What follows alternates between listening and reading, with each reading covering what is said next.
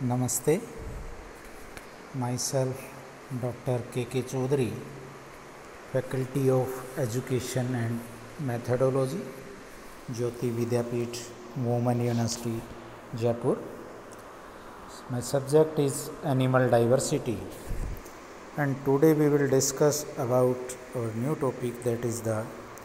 general characteristics and classification of the platyhelminths. General characteristics of the platyhelminths. These are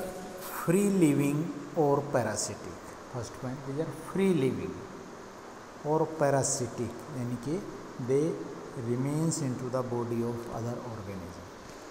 Second, they have the tissue grade of organization. Organ nahi hai cellular level of organization nahi hai They have the tissue grade of organization. yani ki tissue performs the some functions of the body. These are triploblastic. You can see these are triploblastic. Triploblastic means they have three layers ectoderm, mesoderm and the endoderm. Bilaterally symmetrical. These are bilaterally symmetrical. Bilaterally symmetrical means if you cut the animals into the two halves then both halves are the mirror image of each other कि जब आप बीच से किसी के दो part करोगे animals के दोनों हाफ उसके मिरर इमेज होंगे बराबर होंगे नेक्स्ट इधर the body is unsegmented body के अंदर सेगमेंटेशन नहीं होता जिस तरह एनलिडा के अंदर होता है इसमें बॉडी में सेगमेंटेशन नहीं होता these have the adhesive suckers adhesive यानी कि विच कैन फार्मली अटैच्ड कि जो दूसरे से अटैच हो सकें सक्कर्स उन सक्कर्स की हेल्प से ये अपने होस्ट से अटैच रहते हैं the digestive system is branched and incomplete without anus कि डाइजेस्टिव सिस्टम है वो क्या है ब्रांच्ड है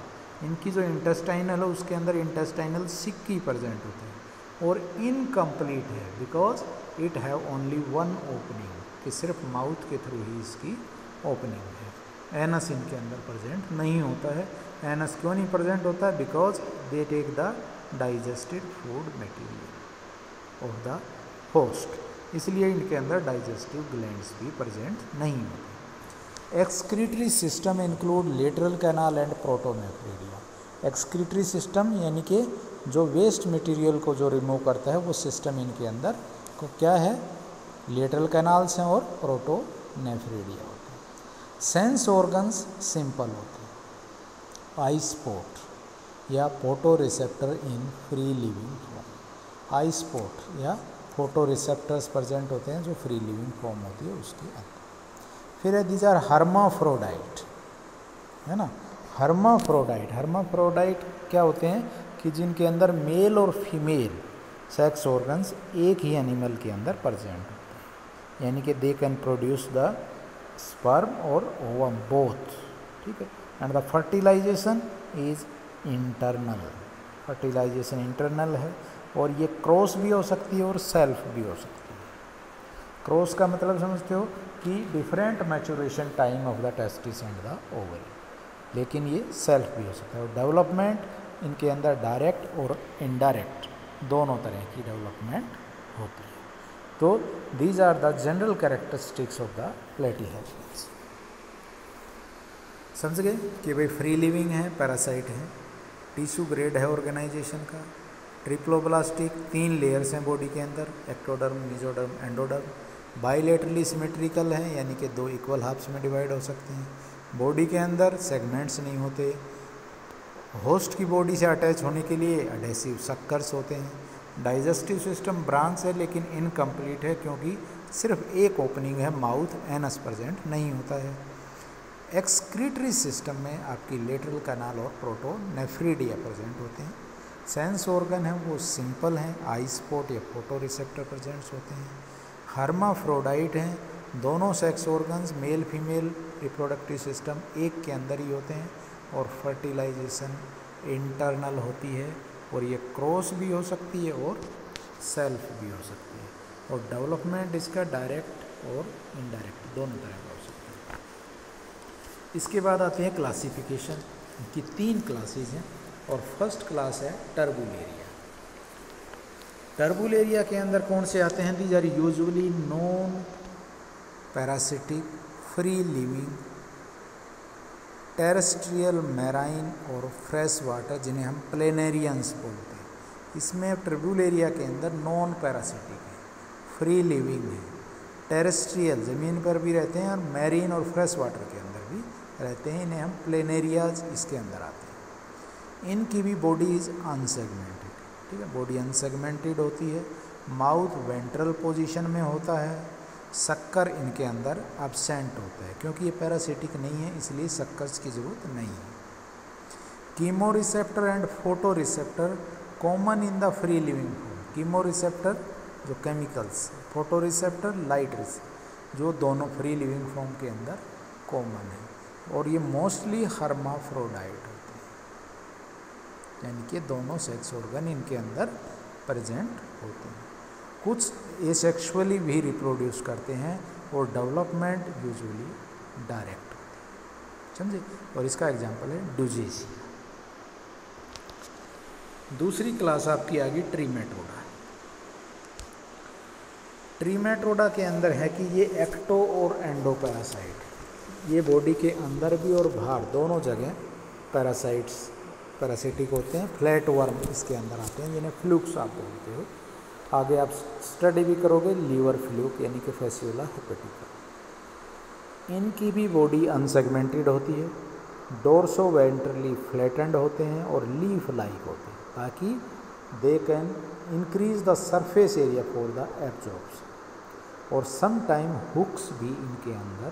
प्रेजेंट होते हैं alimentary canal with anterior mouth simple pharynx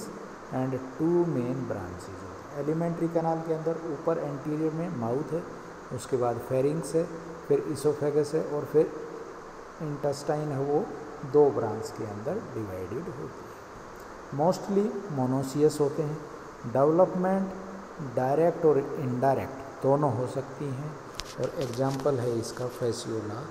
हैपेटिका भाई समझ में ट्रीमेटोडा में यानी कि एरिया थे नॉन पैरासिटिक और ट्रीमेट्रोडा में आगे पैरासिटिक चाहे वो एक्टो हो चाहे एंडो उसमें प्लेन एरिया थे इसमें क्या है फ्लैट वर्म्स है लीवर बॉडी उनकी अनसेगमेंटेड थी इनकी भी अनसेगमेंटेड है लेकिन ये डोरसो वेंट्रली फ्लैटेंड और लीफ लाइक होते हैं ताकि सरफेस एरिया बढ़ जाए एब्जॉर्प्शन ट्रीमेट्रोडा में हुक्स या सक्कर्स प्रेजेंट होते हैं लेकिन ट्रिबुलेरिया में एबसेंट होते हैं एलिमेंट्री कैनाल में माउथ फेरिंग्स और दो मेन ब्रांचेस होते हैं डेवलपमेंट डायरेक्ट और इनडायरेक्ट है एग्जांपल है इसका फेसियोला हेपेटिका ठीक है इसके बाद थर्ड क्लास आ गई सिस्टोडा ये है एंडोपैरासिटिक फ्लैट वर्म्स जिन्हें आप टेप वर्म्स के नाम से पैरासिटिक फ्लैट वर्म्स जिन्हें क्या कहते हैं tape worms body segmented and ribbon like दोनों ऊपर वाली क्लास थी उनके अंदर क्या था अनसेगमेंटेड थी लेकिन सिस्टोडा के अंदर बॉडी क्या है सेगमेंटेड है और रिबन लाइक है हेड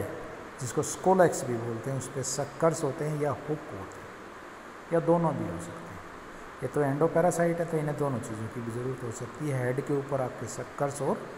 हुक दोनों हो सकते हैं कोई एलिमेंट्री कैनाल नहीं होती और नो सेंसरी नो एलिमेंट्री का नाम नो सेंसरी होगा क्यों ये तो डाइजेस्टेड फूड ही लेते हैं और वो digested food general body surface के थ्रू डिफ्यूजन प्रोसेस से एंटर कर जाता है each mature segment with male and female हो जितने बॉडी बताया ना कि बॉडी सेगमेंटेड है और हर सेगमेंट के अंदर मेल और फीमेल ऑर्गन्स प्रजेंट होते हैं ये खासियत है Life cycle is very complicated involving one or more intermediate ठीक है लाइफ साइकिल बड़ी कॉम्प्लिकेटेड है जिसके अंदर एक या दो से ज़्यादा भी इंटरमीडिएट होस्ट हो सकते हैं और एम्ब्रियो है उसके भी हुक्स होते हैं इसमें इसका एग्जांपल है टीनिया सोलिया तो ये होगी आपकी क्लास सिस्टोडा समझ में आई कि भाई फ्लैट वर्म इसके अंदर आते हैं एंडोपरासाइट है बॉडी सेगमेंटेड है और हर सेगमेंट के अंदर मेल और फीमेल ऑर्गन्स प्रजेंट होते हैं एलिमेंट्री कैनाल और सेंसरी ऑर्गन होते नहीं हैं हेड के ऊपर शक्कर और हुक्स दोनों हो सकते हैं लाइफ साइकिल बहुत कॉम्प्लिकेटेड है जो एक भी या एक से ज़्यादा इंटरमीडिएट होस्ट हो सकते हैं और एग्जाम्पल है Taenia solium So this is all about the general characteristics and classification of the platyhelminths. Hope you understand the topic. If you have any query, please mention in the comment box. I will resolve it. This session is powered by digital version 2.0 Jyoti Vidyapit, Woman University, Jaipur. Thank you. Thank you very much.